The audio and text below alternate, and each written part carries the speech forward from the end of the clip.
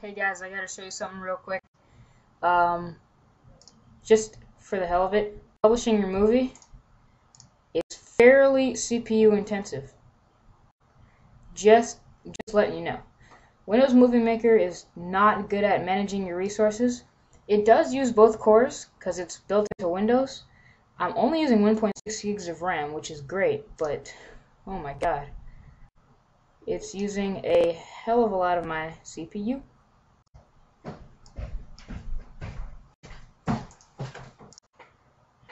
And here's a little, um, I already gave you a little taste of how much of the CPU it's using. Yes, 100%.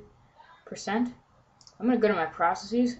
Windows Movie Maker is using 50%, and the recording utility, which is this my, you know, studio right now, is using 12, uh, up to 25-ish percent of the CPU.